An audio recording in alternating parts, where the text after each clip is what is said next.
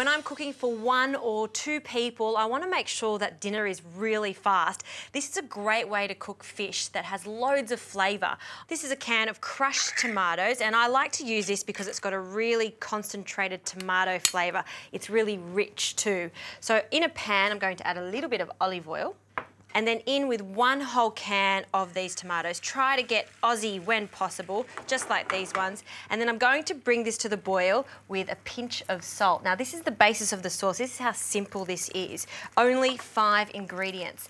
And now I can add some herbs and fish and dill love each other. This is going to flavour the tomatoes and some capers, just the saltiness of the capers once it's starting to boil, as it is now, I'm going to turn the heat down to low. And because fish is so delicate, you don't want to overcook this. So low temperature, so it's just simmering.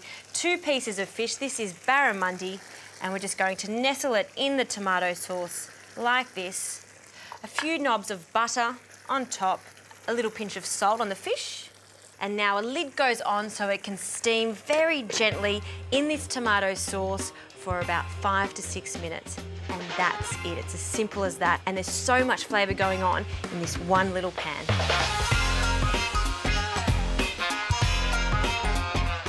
And voila, this is a healthy, simple dinner to make in 10 minutes.